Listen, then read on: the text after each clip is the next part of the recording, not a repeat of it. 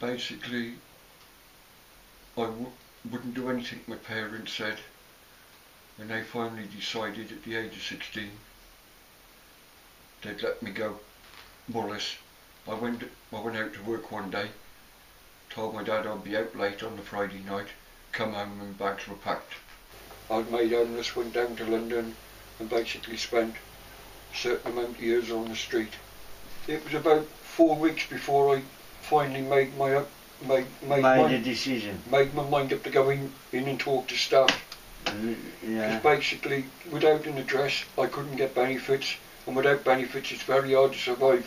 Why did you leave London, Ace, to travel down to St Paul's? Basically, I left London to try and rebuild bridges, and to try and find somewhere to, to live. I basically I went in into housing benefit and spoke to an homeless officer, and they referred me to the hostel. I went in at ten o'clock on uh, Friday morning. I was booked in at three o'clock on the Friday afternoon. God, that's good. Usually you've got to wait four or five days. Yeah, you normally have to wait. longer than that. You have, normally you have to wait for a vacancy. Yeah. When I come when I come into St Paul's, I found it very helpful. Basically, a because when I was on the street, I couldn't get all my medication that I required. Yeah, Yeah. that's good. Yeah, that's it. Yeah, the, that is. minute, the Uh, minute I come into St Paul's, I had all the help to sign on, sort my medication out, and get me put back on the straight and narrow. Basically, What's good soil? it's a project where where residents from the hostel can go and learn about animals, agricultural, potting plants. So it's good therapy as well. Yeah. Basically, it's learning new new skills. I took on reading and writing literacy groups and having my CV put together with Jerry. yeah. So, And uh, you now work, well, you're going to start a job. And I've also now got a part-time job.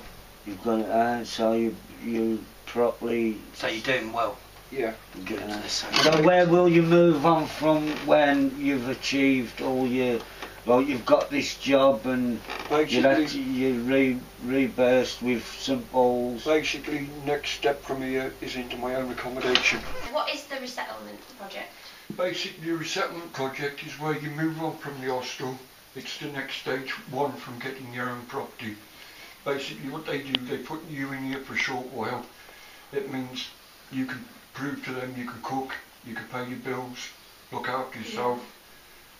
Thanks to places like this, which should be and should be respected. It's Yeah, put me back you a up on my chance. own place now, love. I ain't in a resettlement. I went through what they call the system and stuff like that, and I've got my own place. Oh. yeah, Exactly, just yeah. a little push just to start you on your way. Have you done every job on the farm, Dave? Every job. Every job what's actually on this plot of land here, have you ever, Yeah. have, you've done every Yeah, one? clean all the top off the top, clean out the boxes. They're fed first thing in the morning, the afternoon, and that that keeps them going through the day. Basically, this is where we register, write down all the eggs we collect, and if they, if any of them are dirty, they need to be washed by by water. That way, then they're clean to be sent to the shop. We cut, we cut the windows out. We've actually got a good guy who does carpentry on site. Basically, I get a lot of enjoyment out of coming here. It's free. It gives me my freedom from the hostel. I'm learning new skills to put up, things to put onto my CV, and it's just an enjoyment to come out to the farm. The man sits on the lonely bench outside the hostel in which a room he rents.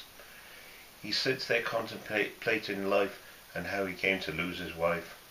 A vodka bottle tied in his hand, no one seems to understand.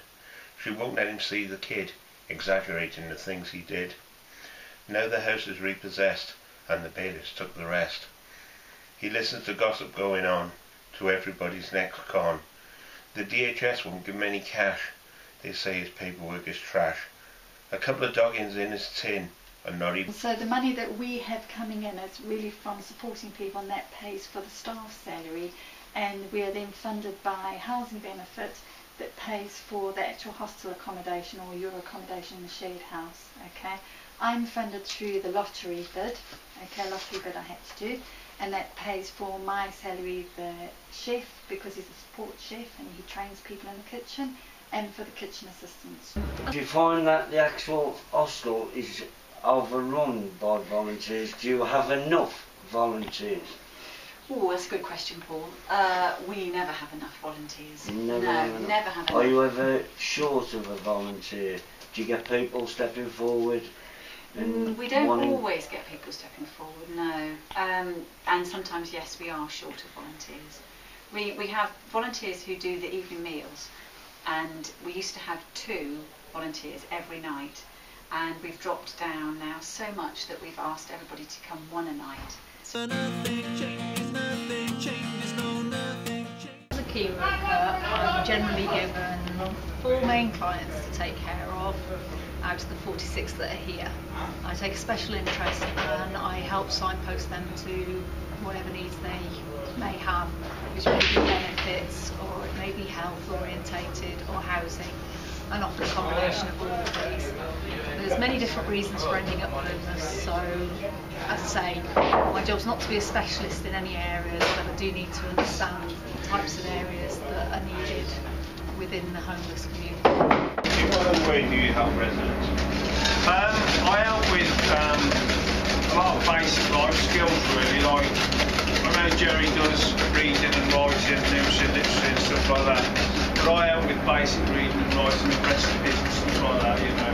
The measurements and Yeah, that's it. and- Budgeting, budgeting Have you still got, have you still got a course going? Would you do a course? Yeah, yeah, there's six lesson plan course, yeah. well, that's it. And you've got to, Yeah, people go people go through these lesson plan courses and stuff.